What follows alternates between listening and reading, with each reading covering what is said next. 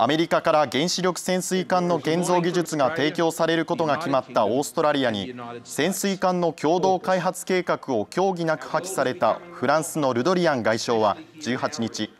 アメリカやオーストラリアの振る舞いは同盟内ではありえない重大な危機だと警告しました。また問題を受けてアメリカから大使を引き上げることを決めたことについては両国関係史上初めてで重い政治的行為だとした上で事前にフランスと協議したとするアメリカの説明は二枚舌、嘘、軽視があると非難しました。